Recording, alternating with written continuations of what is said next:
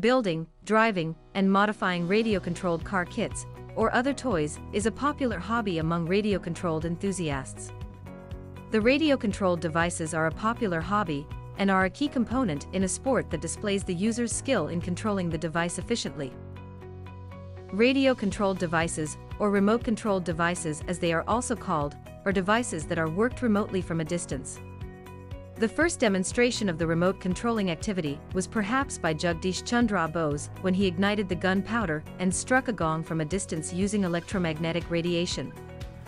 Tesla was the first to demonstrate a remotely controlled ship called teleautomata, using a transmitter and receiver to show how ships and mechanical gadgets could be controlled on a wireless principle in 1898.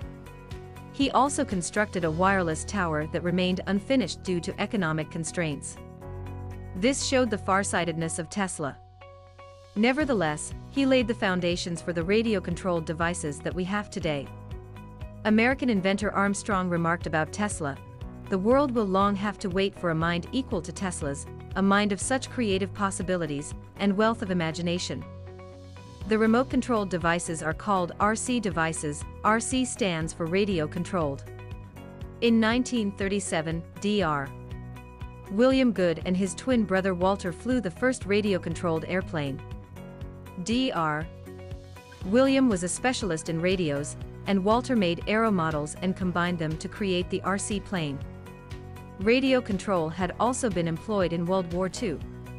In the 1960s, the availability of transistors revolutionized the circuits and made them more compact and lighter. Principle of the modern RC toys, in the mid to late 60s, a British company named Mardave, based in Leicester began producing the first commercially viable RC cars. Their first cars were nitro or gas-powered cars sold in the local area.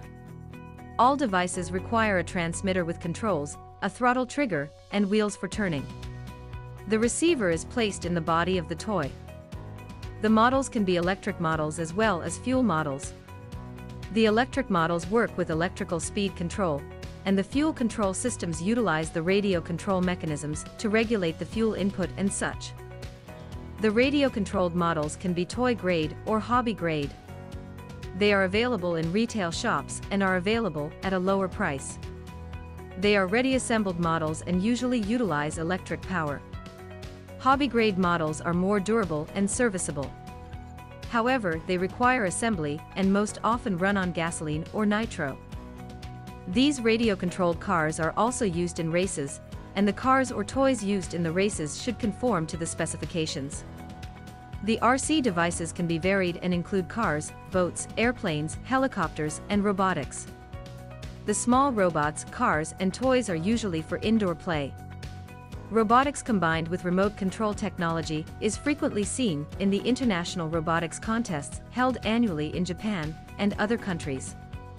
Robotics is another hobby, which is even more interesting when combined with radio-controlled or remote-controlled toys.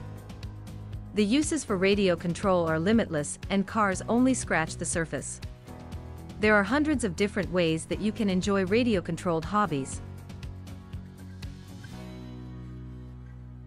Leave a like if you want more videos like this.